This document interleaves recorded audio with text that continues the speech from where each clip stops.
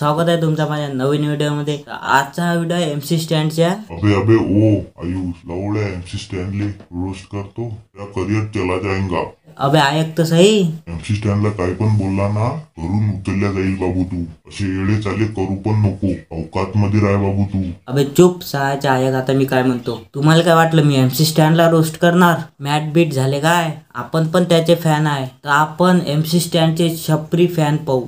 चला मग. सबसे पहले आप अपने इंट्रो दे दो। और मैंने स्टैंड जुलिया स्टैंड का बिग फ़ैन है ब्रो तो भाई ये अपन आरो डाला स्टैंड का बहुत बोल तो बहुत बहुत बहुत बिग फ़ैन कटर फ़ैन फंस गया सीएम इसे पार्टी की मीटिंग समझ के फंस गया। आल्याबरोबरच हागला स्टँड लावून कोणी एम सी स्टँड नाही होत. एम सी स्टँड फक्त एकच आहे. तोही जिता जाता चार करोडचा आता असं जसं येणं स्पॉम मी त्याच्या इकूनच घेतले. तू समझा? हाँ.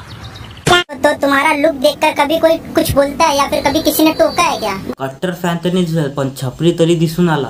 बहुत कोई मुझे देख के बोलता है देख ये लेडीज़ देख रहा है ये वो ये मुझे गंदा दिख रहा है। मेरे मेरे को सबसे नहीं फ़र्क पड़ता ना माम तू लेडीज़ पाहत असशील ना म्हणून तर म्हणते ना. इतने तेजस्वी लोग हैं हमारे पास। अपना लुक खोल कर दिखा सकते हो? क्यों नहीं ज़रूर. और क्या खोल दिखा खोल जो बाकी काही नको खोल जो करो फिर। तो भाई आप अपने लाइफ स्टाइल के बारे में कुछ बताएँगे हमारे ऑडियंस को? सुबह से लेकर रात तक आप क्या क्या करते हैं? तर हेच करिअर जीपी सारखं पण करिअर लटकलाय जो बात क्लियर में गांजा फूकता है होमिस लोग के साथ मेरे दो चार होमिस है उसके साथ गांजा फूकता है उसके बाद मैं काम में निकल तुझे होमीस पण तुझ्यासारखे ससन छपरी। हुआ मैं वहाँ पे हक अपना ही था जहाँ पे सिर्फ़ माटी गुनेगारी गिरी चलती थी जहाँ बहुत पुराना एक्सपीरियंस है इसके बाद। चलो भाई पढ़ते हैं कायचा भोकाचा एक्सपिरियन्स आहे रॅप मध्ये हागला। तो आप कौन कौन सा नशा करते हो? हमारे ऑडियन्स जानना चाहते हैं। जो बात क्लियर मैं बोलता हूँ मेरे को जो अच्छा लगता है शौक शौक से अपन गांजा फूकता है। तुझं पुरं गांजा फुकू फुकू गांजाडी झालं। तसा दिसतच तर म्हणा गजेडी तू। दारू पिया मैंने आज। सोची थोड़ी थोड़ी निकलेगी फीलिंग मैंने मैंने को बोला मेरा अभी तक देखो मेरा वर्ग गेला सडेला सीलिंग गेली अबे चूप त्यांना नशा विचारला रॅप नाही बहिरी गांड कैसे कैसे लोग रहते हैं यार यहाँ पर? तो स्टार्ट करते भाई। अरे भाई इसका करने को लो। ते मागचं पोट्टही म्हणत असेल थांब पहिले मला हागाले जाऊ दे. याच्याहून चांगला तर इंटरव्ह्यू मी देतो. मला हागून येऊ दे असं म्हणत असेल ते. तो भाई आप कोई नशा करते हो? क्योंकि इंसिस्टेंट नशा करूनच आला तो भोकन टिकल्या. दिसून नाही राहिला का दोन दोन चष्मे घालून राहिला म्हणून. म्हणून म्हणतो नशा थोडासा कमी करायचा कमी गांजा फुकाचा.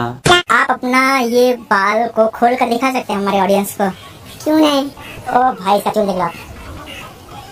काफ़ी लपट से बाँध के रखता है भाई। इससे मतलब बहुत किया करता है ऐसा आज देखो भाई। याच्याहून तर माय केस चांगले आहे माय इंटरव्ह्यू घेत कोणी? घर वाले मुझे कुछ नहीं बोलते। क्योंकि उन- मेरा खुशी में उन खुशी है।